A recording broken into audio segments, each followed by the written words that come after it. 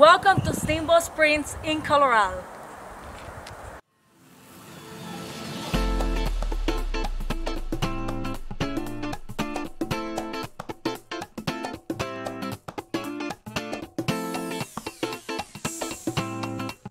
Guys, we just arrived to Steamboat Springs, Colorado, and it's snowing.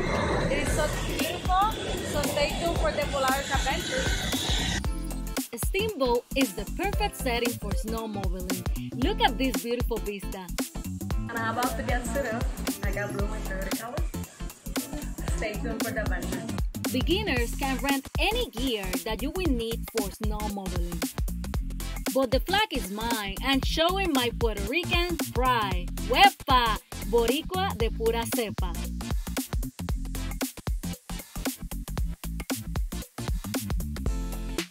Don't be nervous, I was a beginner too. There will be instructors there to train you.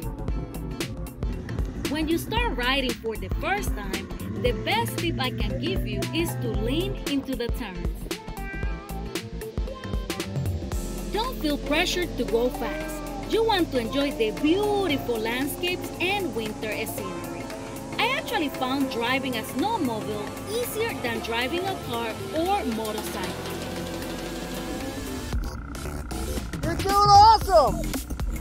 It is just an exhilarating experience, especially the wind across your face. Just absolute freedom. You can also ride with someone else if you don't feel comfortable driving alone.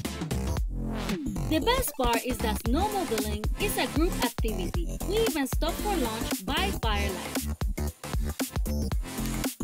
Just remember to enjoy yourself and the beautiful surroundings of Steamboat Springs in Colorado. Thank you for watching. I hope that have inspired you to plan your own snowmobiling adventure. Enjoy!